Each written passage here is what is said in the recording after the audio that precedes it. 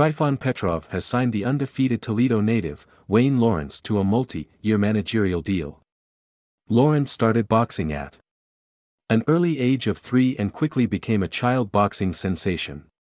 Wayne, who's better known as Pretty Boy Bam Bam, was a guest on T. Ellen DeGeneres when he was seven years old. He also appeared on ESPN First Take and on Dr. Oz, as well as co-starring alongside Floyd Mayweather in the video of the song Undisputed by Ludacris. Boxing is a family affair for the Lawrence's family. Pretty boy Bam Bam has been trained by his father. Wayne Lawrence Sr. his whole life. Wayne Lawrence turned professional in 2021 and has a record of 7-0 for KOs.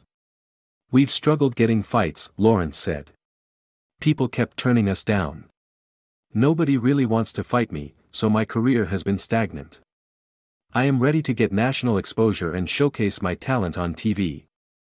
Trifon Petrov is one of the best in the game right now. His fighters consistently fight on TV, they fight for titles and stay active. I am excited to work with him.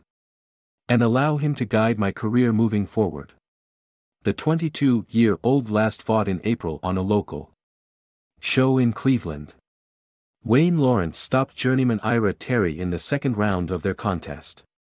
Wayne is extremely marketable and talented fighter. I've been following his career for some time now, and am happy that we are finally able to work together. We have some exciting things in the works for him. I am expecting him to make his television debut later this year, said Petrov.